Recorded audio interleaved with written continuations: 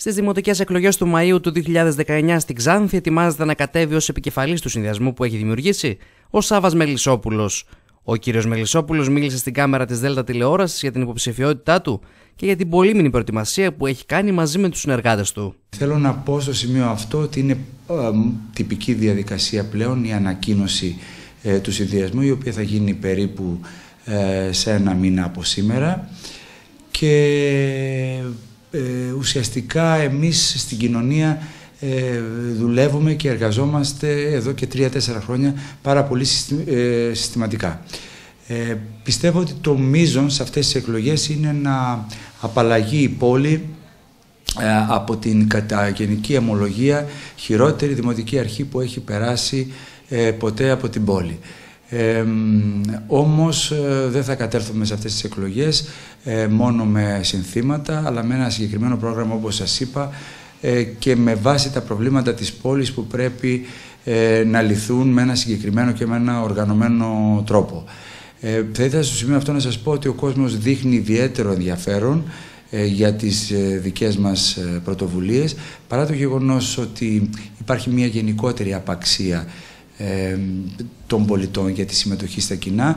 Ε, εδώ όμως στην περίπτωσή μας επειδή ο κόσμος της Ξάνθης είναι ιδιαίτερα εξοργισμένος και αρκετά προδομένος θα έλεγα ε, καταδεικνύει μία συσπήρωση ε, πρωτόγνωρη από διάφορους χώρους ε, χωρίς ε, κομματικά στεγανά. Στο συνδυασμό του, του οποίου το όνομα θα ανακοινωθεί προσεχώς, συμμετέχουν άτομα από όλα τα κοινωνικά στρώματα και από διάφορους πολιτικούς χώρους.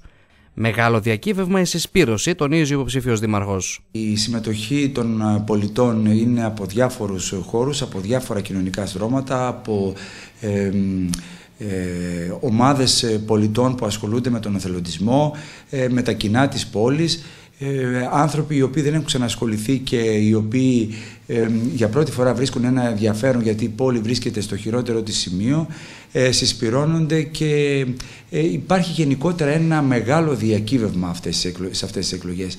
Ή συσπηρωνόμαστε όλοι μαζί και αυτό αφορά και τις ε, άλλες παρατάξεις και τους άλλους συνδυασμούς που ακούμε ότι θα κατέλθουν στις εκλογές.